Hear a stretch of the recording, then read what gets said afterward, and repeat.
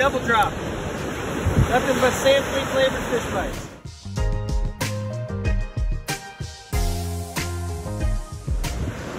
Two of them. Oh, let me see. There you go. Awesome. All right, so I made it back home. I want to do a quick little video of my cooler and what, what I think most people should do with their coolers. I think it's cool. Dad joke, hashtag dad joke. Anyway, okay, now that we're flipped out, we're flipped out, we're flipped around. So I go to the beach with ice in the form of water bottles. I fill up water bottles full of ice. They eventually turn to water, so you have something to drink. Keeps it really cold. Nice deal. Okay, so anyway, about three big, three big ones in there. Okay. Also, we have shopping bags. Now, I put the fish in my shopping bags so that I don't have all this goo from fish all over my cooler. So here we go. Look at that. You're going to the fish market anyway. It's basically the beach is the fish market. And you know, it keeps it keeps it nice and uh, non-slimy. And that that's it. That's all I wanted to share with you. Well, here we go. Let's see what we on this guy. That's a good thir 13 and a half almost. Anyway, we're gonna do, uh, we're gonna cut this guy up. I'll show you how to do it. First, I start on this side. I lift the, uh, little fin right here. Get inside there. We'll see, see if you can see what I'm doing. Okay. Simple enough. Just come straight down. About to there, right to the backbone. It stops. Just make a little incision.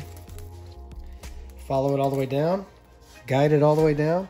Make sure you stay on top of the spine. Go straight out. And come back. Should be able to hear clicking from uh, hitting all the fish bones. See? I'm not the best at this, clearly, but this is how I do it. Till I learn how to do it better. But um, none of this stuff goes to waste. Uh, I have planted a, a, tree in the backyard, and I put um, all the carcasses. I bury them underneath my orange tree, and it's like super green. But here we go. Come right here. Get a pinch. Just pull and just glide it right off. Slide the meat right off. Boom.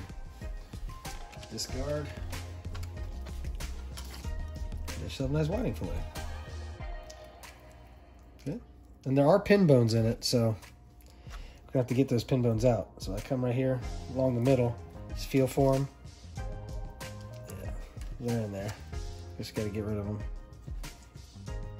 Unfortunately, like I said, none of it goes to waste. We put it right in my right in my bag. Yeah, not the best job in the world, but it gets it done. Try to do this one a little faster.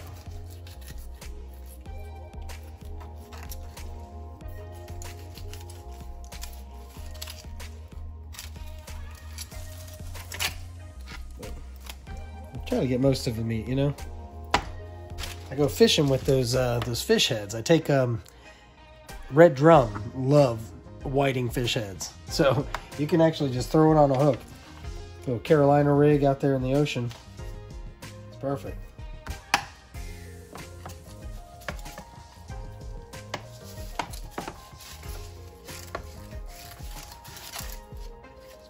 Ooh.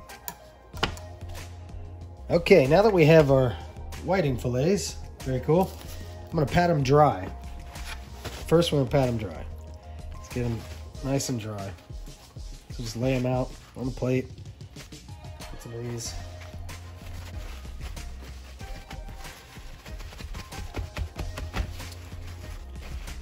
Now, I like spicy. Okay, so this is uh, Cajun crispy fish fry, Louisiana style.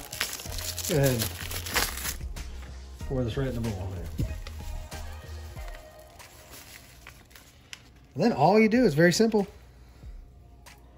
There, just just coating it simply. Ooh.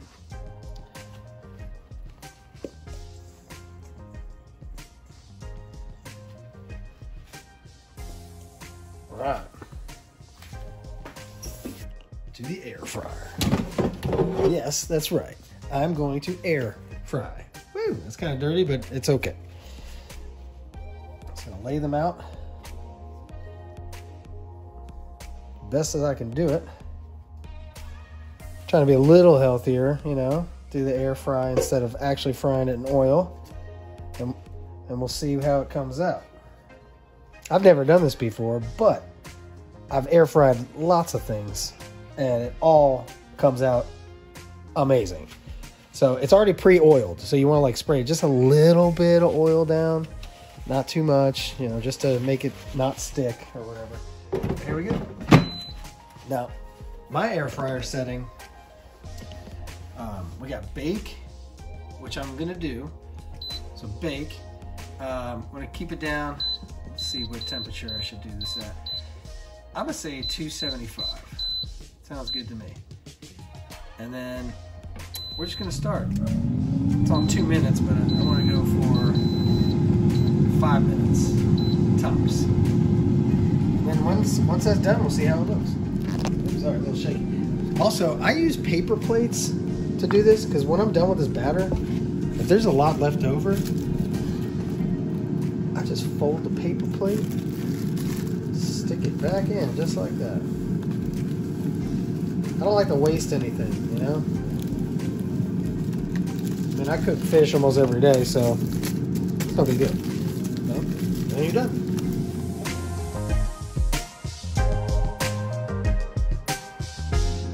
So while that's cooking, I'm thinking about doing a sauce. I kind of like want a sauce with it. So I, this is my own recipe. I'll take a spoon. Hello. All right. One, two, three. That's it. Take the spicy brown mustard. Always shake your mustard up first, folks. Okay. One, two, three. Take your dill weed. Sprinkle it. That's about enough. At your leisure. This is really spicy. I don't know if you guys like it, but like spice. And some people use this, they'll use ketchup, whatever. But I'm just using one, two, three. Simple. I'm using the same bowl because I don't like to dirty that many dishes either. So? Mix it up.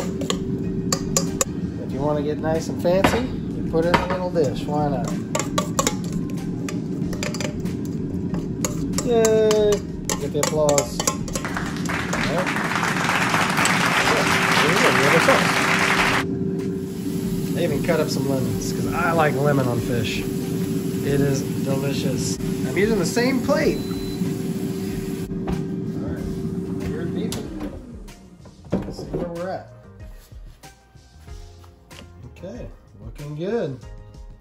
I'm gonna test it real quick because I think I'm gonna flip it. Do it again. Oh yeah. Look at that. Can you see? That white flaky. This is five minutes.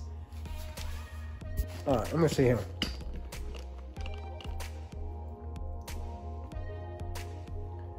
Guys, no, that's freaking good. Perfect. The only thing I would do different is just add a little lemon to it in my sauce. Well, that's it. Presentation's not so great, but I'm the one eating it, so I don't care. Squeeze a little lemon on there. Let's try the sauce. To. Hey guys, thanks a lot uh, for watching the video. If you liked it, give it a thumbs up. Uh, please subscribe if you haven't already. Anyway, I've got more videos to come. Uh, it's gonna be fun. We got a lot, lot more to do. The water's warming up finally, so I'm pretty sure we're about to catch some pompano. We're gonna get some redfish. We're gonna get whatever else wants to get on the hook. You know what I mean? Anyway, um, keep it reeling, and we'll see you next time.